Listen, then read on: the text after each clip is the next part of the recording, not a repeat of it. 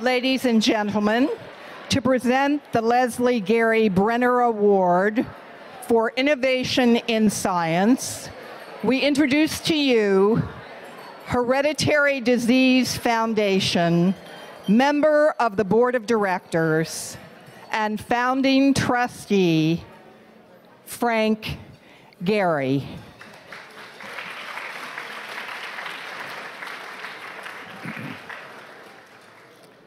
So I joined this outfit 50 years ago when it was starting because there was a guy named Milton Wexler.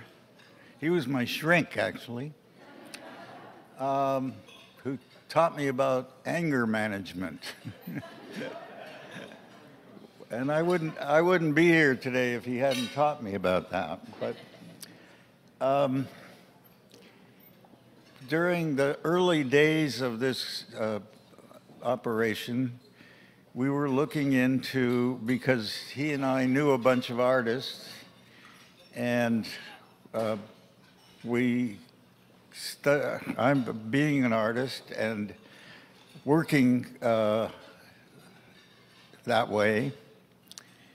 We had meetings with young scientists and talked about creativity and how that happens and um, exploring the unknown and the idea that you don't do something, if you know what you're going to do in advance, you don't bother to do it.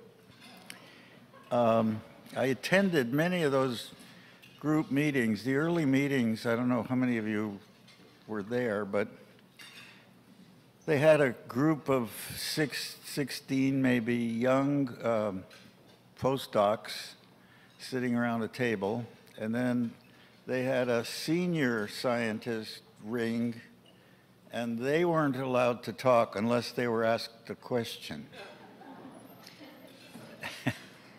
and that was a fantastic uh, thing to behold.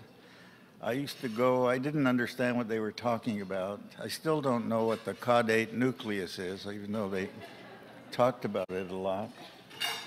I'm sure it's back here somewhere.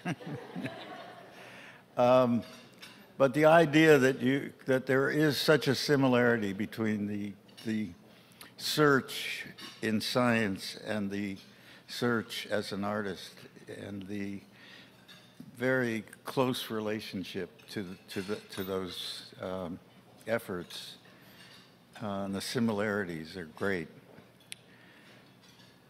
So I learned a lot about it, spent a lot of time with it, and I'm honored to still be part of it.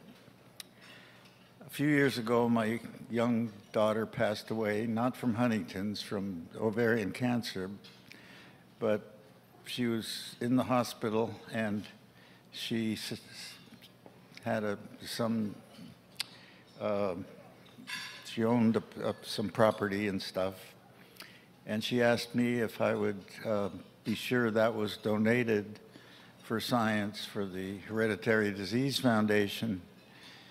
And I decided to match it. So we created a fund in her name, Leslie Gehry Brenner. I forget which, uh, which sequence we Leslie Gehry Brenner. I did it right.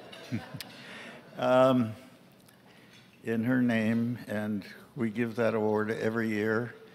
And it was the idea was to give it without any strings. Thinking, I was thinking about uh, young scientists. Uh, you give them 100K with no strings and see what happens. And I, I love that idea, the freedom that that implied. And I think that's the idea to continue until we met the current honoree, Frank Bennett. And I'm honored tonight to be the one to bestow the award on him.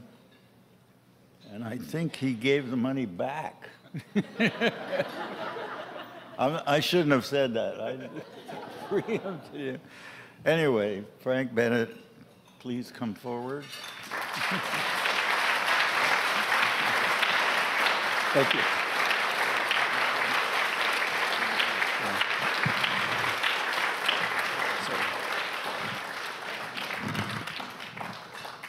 Thank you very much, Mr. Gehry. It's um, a real pleasure to meet you, and I'm sorry I never had the opportunity to meet your daughter. She sounds like a wonderful human being.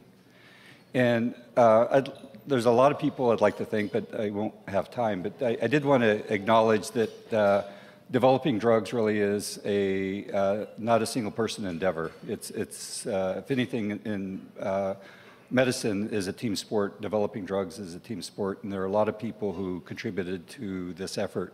Uh, so, some of the people in this room were instrumental in uh, identifying the gene and uh, uh, understanding the biology of the gene, which is still very important uh, today to, to a lot more work to be done. And I really do thank the people in the room for everything they've done to make this possible. And then uh, I'd also like to thank my collaborators who worked with me on this project, in particular Don Cleveland at UCSD and uh, his uh, uh, uh, very talented postdoctoral fellow, uh, Holly uh, who now works at Ionis because she was so talented and continues to work on this project. Were really key for doing some of the initial studies in mice. And then uh, a number of our uh, uh, collaborators at Ionis uh, and colleagues, uh, as well as at Roche, who helped uh, move an idea into the, the clinical trials were really key. And finally, the, the clinical investigators, in, including last year's awardee, Sarah Tabrizi, who really led the, the clinical development for the phase one trial, should be acknowledged as part of that. And then finally, uh, I wouldn't be here today if it wasn't for my wife, Paula, and uh, my three sons that uh, have really uh, put up with me for the last uh, large number of years. and have, have encouraged me to pursue my, my dreams in science and you know, working on therapies to, to help people that have a, a, need. And so thank you very much. And finally, I, I could think of no better use of, of the money. I work for a pharmaceutical company, and so the, uh, I didn't feel like it was appropriate to put it in the coffers and, and get lost there. So I, I felt that uh, the best use of the money is really to provide it back to the foundation and continue this great work uh, that, that uh, Nancy and the team are doing.